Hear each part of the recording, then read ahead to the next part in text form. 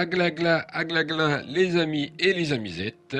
Il fait aussi froid sur ce niveau de Cuphead que à l'extérieur. Là, c'est clair, on se les pèle. J'espère que vous allez regarder ce- cette vidéo au mois de juillet, là où ça va vous rafraîchir. Parce que en ce moment, c'est doudoune obligatoire. Donc ce niveau euh, de Cuphead, c'est on va se battre contre un magicien de glace euh, qui va nous faire froid dans le dos tellement il est compliqué et difficile. Donc ce niveau de l'île 4 euh, de Cuphead, l'île 4 le DLC, je le répète, donc c'est échauffouré dans le froid. On comprend qu'il fasse pas chaud. Allez les amis et les amisettes, on est parti pour euh, bah, se les peler, tout simplement.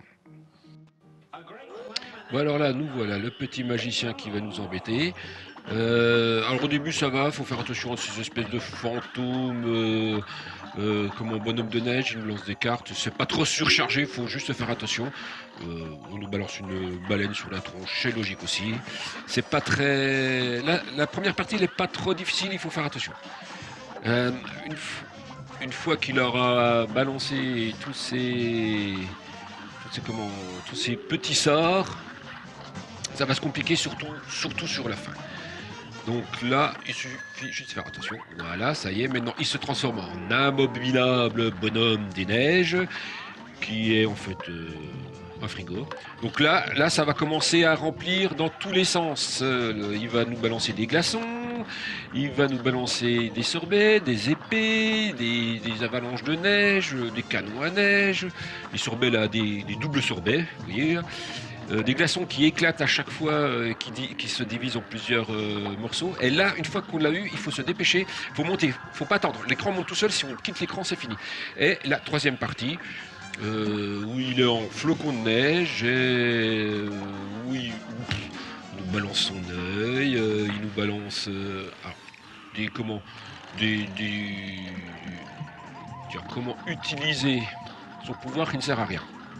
Il nous balance des étoiles, il nous balance des bouts de lune, il faut sauter de plateforme en plateforme, il nous balance aussi des, comment, des espèces de fantômes de dragons. Euh, donc voilà, là j'utilise le boomerang parce que l'avantage c'est que je l'ai en même temps devant et derrière que ne fait que de changer.